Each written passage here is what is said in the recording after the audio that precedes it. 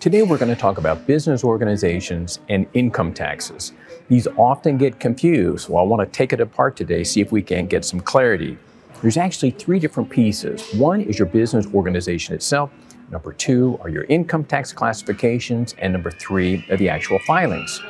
Now the first one is the organizations. So we have corporations, we have limited liability companies, we have business trusts.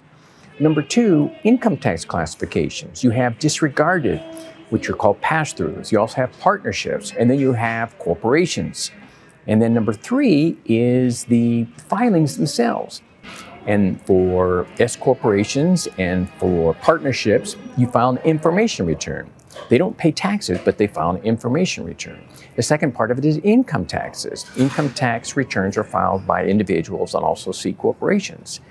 And then the third one, which doesn't file any returns, uh, information, or income tax, are LLCs and business trusts. There is no such thing as a business trust or LLC tax return.